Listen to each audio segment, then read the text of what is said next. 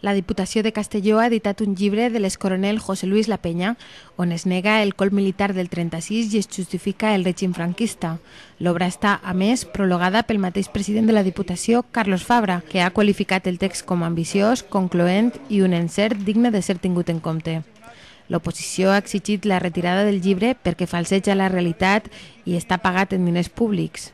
Les Corts, Ricardo Costa ha evitado entrar en la polémica. Bueno, yo ahí lo que le puedo decir es que no he leído el libro y por lo tanto eh, no tengo una opinión personal eh, formada sobre el mismo, pero también decirle que, que, creo que ayer mismo el diputado de Cultura dio explicaciones sobre los motivos de la publicación y me remito a las mismas.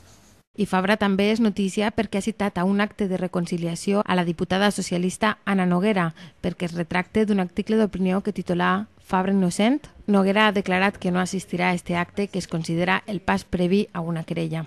El acto de conciliación es el próximo jueves y lo único que tengo que comentar es que no voy a asistir, no me voy a presentar al acto de conciliación.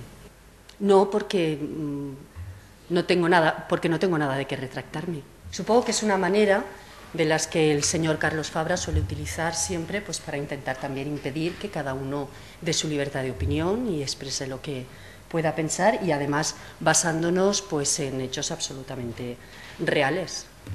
Eh, no es simplemente la creencia de Ana Noguera, sino hechos absolutamente probados, publicados manifiestamente, de los cuales bueno, pues yo puedo realizar mi artículo de opinión. Entonces, no tengo nada de qué retractarme, me parece un artículo bien escrito, de principio a final, y lo, volver, lo volvería a publicar. Entonces, no asistiré el jueves, con lo cual el señor Carlos Fabra ya puede, si quiere, pues disponer de la querella posterior. Si no tiene nada más que hacer,